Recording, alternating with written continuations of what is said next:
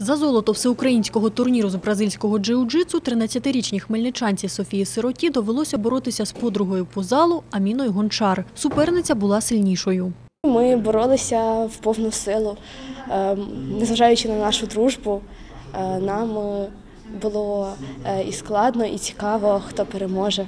Сріблу Софія каже, зраділа та буде тренуватися наполегливіше, аби наступного разу стати першою. Не задля самих лише медалей дівчина два роки займається бразильським джиу-джитсу. Для неї це спосіб самовдосконалення. Мені подобається бразильське джиу-джитсу тим, що е, можна захистити себе на вулиці і своїх друзів, е, і ти під фізичну підготовку свою можеш більше підкачати і бути гарно підтягнутою по спортивному. Першим на змаганнях у Тернополі став восьмирічний Михайло Смолінський. Хлопець виграв три сутички.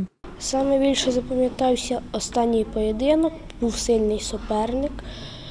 Він всіх вигравав з больового і по балах, але якось, я не знаю, я, він попався мені і я в нього виграв. Дитяча команда краю стала другою в загальному заліку. Для наймолодших це були перші змагання. Перш за все старалися налаштувати емоційно до змагань, адже кожне змагання це є е, таке емоці... такий великий стрес для діток.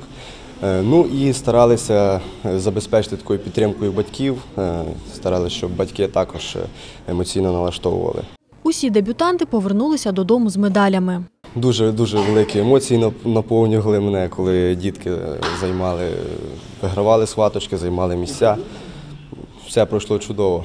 Всеукраїнський турнір з бразильського джиу-джитсу в обласній федерації розглядали як один із етапів підготовки до чемпіонату України з цього бойового мистецтва. Він запланований на 9 грудня в Києві. Ми завжди намагаємося ставити собі якомога вищу планку.